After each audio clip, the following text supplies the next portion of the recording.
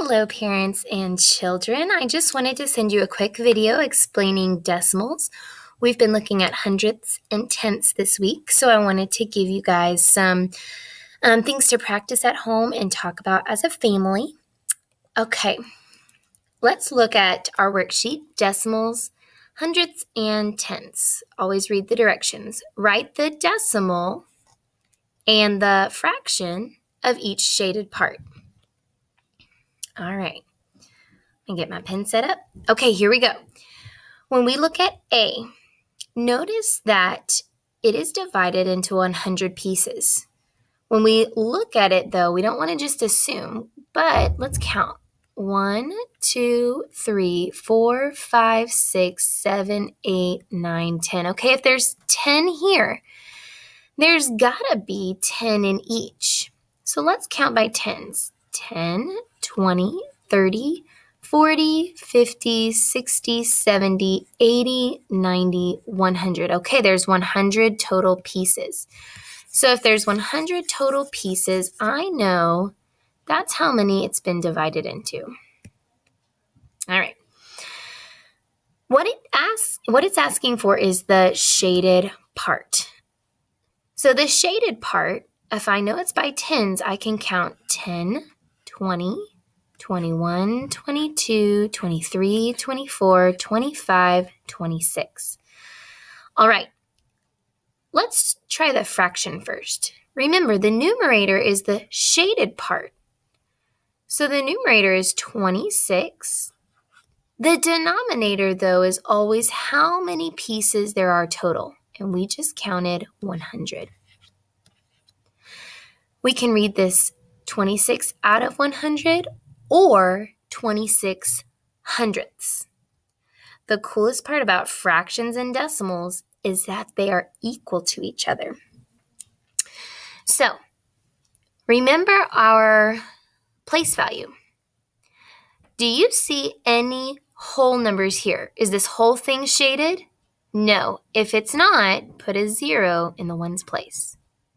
Awesome and a decimal point because anything to the right of the decimal point explains or tells us that it is a part of a number or a decimal number. Remember that first place value to the right is going to be the tenths.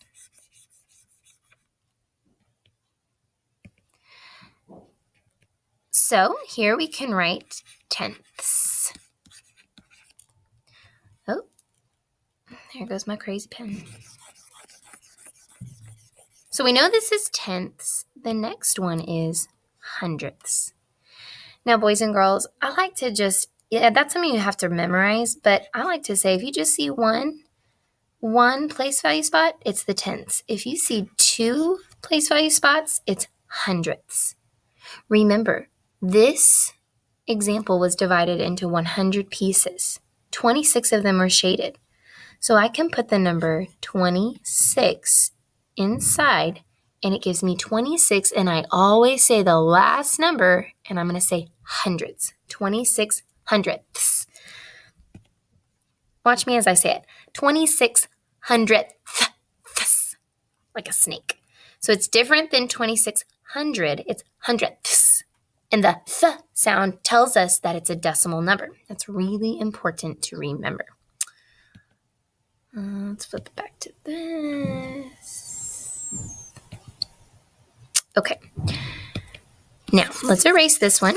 So you now know how to do the hundredths. Let's do the tenths. I gave it away. Let's count how many pieces.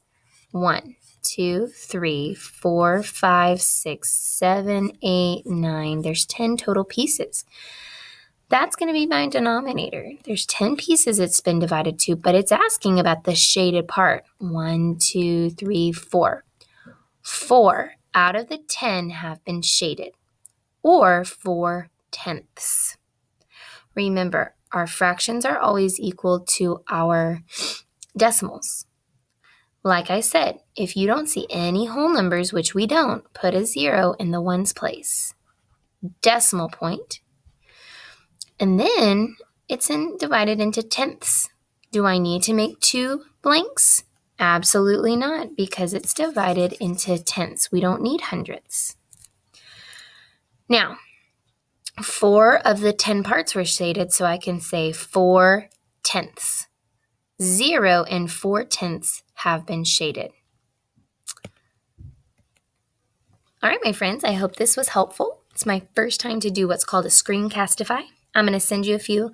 Let me see if I can figure how to turn it off. I hope you guys have a great evening.